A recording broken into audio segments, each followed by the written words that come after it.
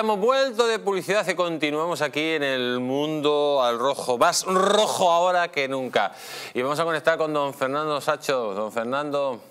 Hola, ¿qué tal? Buenas noches. Buenas noches, ¿cómo estamos por, Zaragoza? ¿Hace mucho frío? No, para nada. Dicen que llega una ola polar. Bueno, pero no se han quedado ustedes fríos, no se han quedado ustedes fríos después de escuchar a, Sánchez, porque eso te deja como un témpano de hielo. O, te deja como un témpano de hielo o te directamente como un volcán, no se sabe, ¿no? Pero vamos, nada de lo que no esté previsto. O sea, yo creo que hoy han quedado dos cosas muy claras. En primer lugar, que efectivamente hay un golpe de Estado en marcha, porque para empezar, o sea, ha sido hasta Junts le ha dado un, aviso, ojo, hasta, hasta, vamos, hasta pequeños matices sobre lo que pueda decir sobre la amnistía que ya es hilar, fino, y luego ese tono chulesco total de Gabriel Rufián diciendo que el referéndum, vamos, que no se la juegue, ¿no? En una, con la mirada que ponía absolutamente patética, la mirada de Pedro Sánchez, pero luego le ha dado... A mí me parece que este hombre es, o sea, bueno, yo creo que esto se puede decir porque no es nada ofensivo, es un orate descontrolado, un personaje que está perdido totalmente el control. O sea, este, este, esta cosa de reírse, por ejemplo, de, sus propias palabras cuando está intentando atacar a Feijóo y de repente pierde el control y empieza a reírse casi incontroladamente. Esto pasa a los niños, o sea, pero a los adultos no les pasa.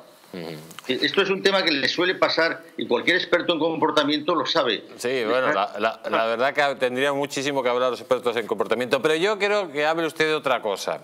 Bien. De la relación, le voy a ir leyendo noticias y luego usted me hace el análisis. La primera noticia que le voy a leer dice, el Papa Francisco recibió hace poco a Pera Aragonés en el Vaticano.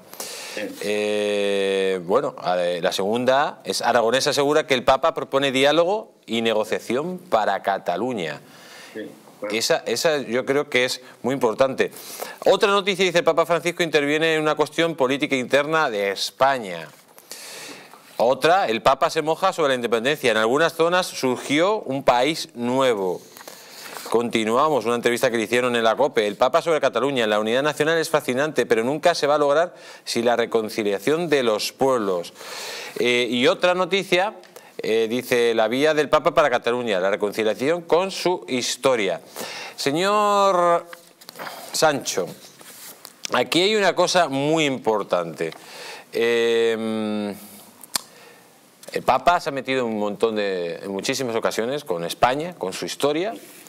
Hemos visto ahora en un momento muy determinado que recibe a Aragonés y además propone diálogo y negociación cuando se está dando un golpe de Estado en España.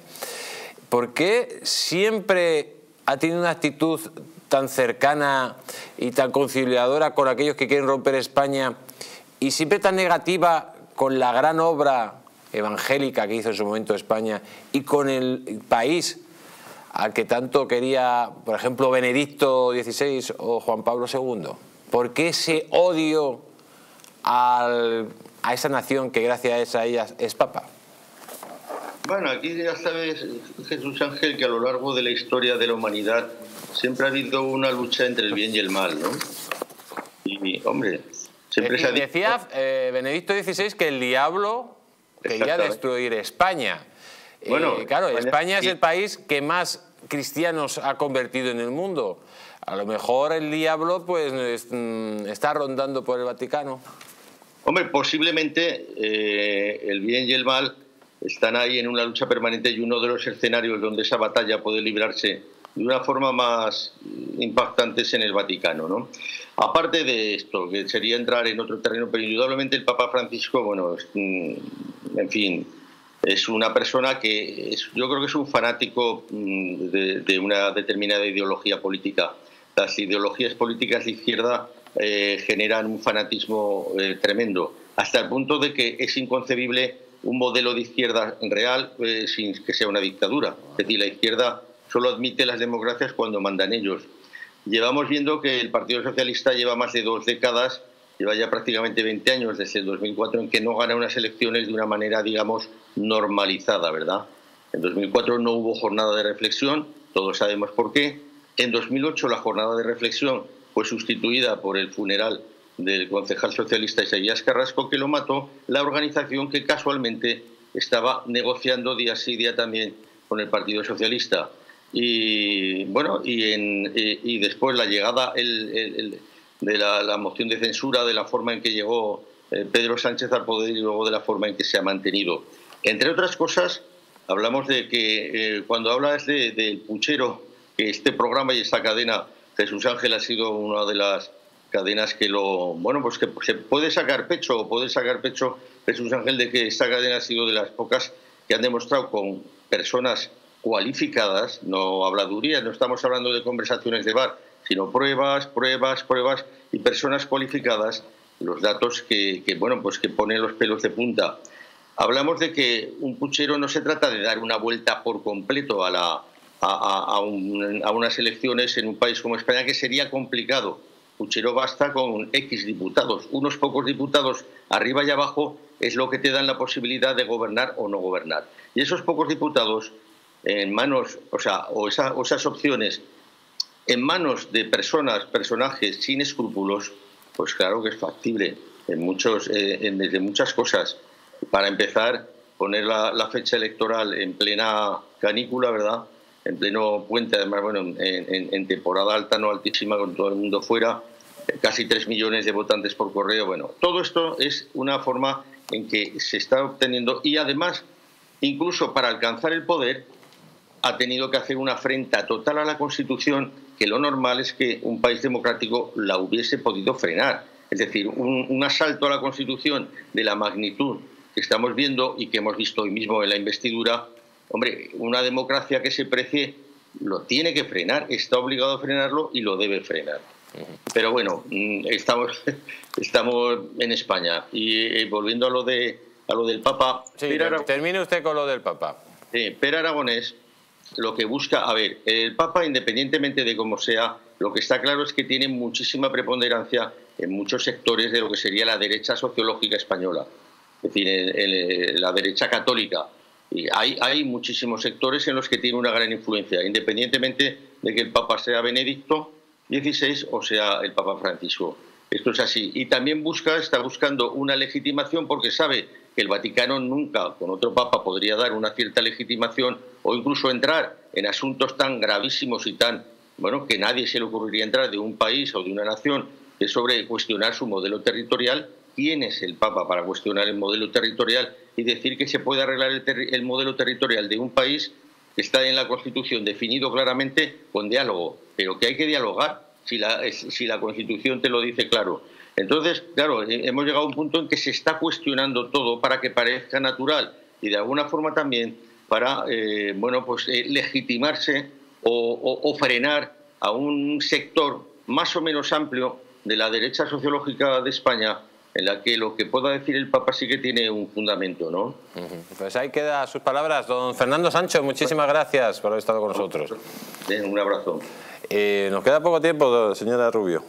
Bueno, pues yo, a mí el Papa no deja de sorprenderme una y otra vez y no favorablemente. Pero bueno, yo lo que veo es que el Papa yo creo que confunde delito con pecado.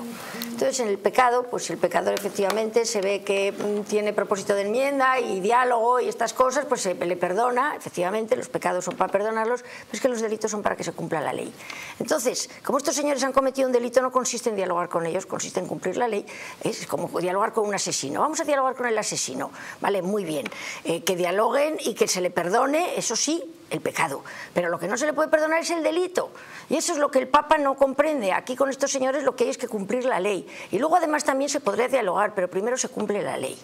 Entonces, pues eh, a Zapatero, a tus zapatos. Señor eh, del Real, darle a César lo que es de César y darle a Dios lo que es de Dios. Yo creo que se le ha olvidado a esa cita de, Jesús. A mí con, el, con, el, con, el, Papa y con, como me ha pasado durante toda mi vida con tanto eh, cura trabucaire que estaba a favor del independentismo vasco, que apoyaba a los muchachos vascos, a favor del independentismo catalán y que tanto daño han hecho. A mí la fe no me la pueden quitar, pero la afición, la afición me la quitan cada semana. Muy rápido, que estamos terminando. Bueno, pues eso, yo creo que los asuntos de la Iglesia forman parte de, la espiritualidad y la fe, pues no tiene que mezclarse con la política. Y me pasa lo mismo que a Sánchez. Ni me gustaba el cura de Diamantino, ni me gustaban los curas vascos, ni tampoco me gustaba la tibieza de la iglesia en el pasado cuando se meten en asuntos políticos, por tanto tampoco me gusta en el presente. Dale a Dios lo que es de Dios y estaremos todos en paz. Exactamente, amigos. Y pero bueno, eh, hay cosas que nos pasan, amigos. Hoy se ha empezado el golpe de Estado, pero tenemos solución por lo menos para las arrugas. ¿Y cómo la tenemos esa solución? Con Colacel Antios. Las arrugas superficiales, la flacidez o el descolgamiento de la piel son síntomas evidentes del envejecimiento. Un proceso que a partir de los 40 años se acelera a reducirse la producción de colágeno por parte de nuestro organismo. Colacel Antios de Mundo Natural es un complemento alimenticio que aporta colágeno hidrolizado puro de alta absorción y antioxidantes, además de vitamina C, una vitamina esencial que contribuye a la formación de proteínas de relleno de la piel como son el colágeno, la elastina o la tropolastina. Confía en Colacel Antios, mucho más que colágeno, de venta en tiendas especializadas eh, o llamando al 91 446 o en parafarmaciamundonatural.es. Y se nos acabó el tiempo, señora doña Alicia Rubio. Se nos ha pasado muy rápido todo, ¿no? Sí, sí, sí, la verdad es que es un día un poco bueno, denso. Mañana, mañana más, mañana todos en el Congreso, les espera usted, ¿no? Sí. Vayan a todos en el Congreso. Además, hay gente interesantísima. No se, me, no se, me lance porque estamos fuera de tiempo. Eh, ah, nada, hay gente interesantísima en el Congreso. No solo viene prensa a la que se le puede explicar las razones, sino que además hay mucha gente Juan de Diego, muchísimas gracias. Eh, don Juan, eh, muchísimas gracias por estar aquí. don Víctor, muchísimas gracias. Y amigos, hoy en un día muy especial, pues el Mundo al Rojo quiere hacer una dedicatoria muy especial a Pedro Sánchez porque le queremos mucho y le vamos a dedicar esta canción con todo nuestro amor. Hasta mañana, sean ustedes buenos y que Dios bendiga a la Madre Patria.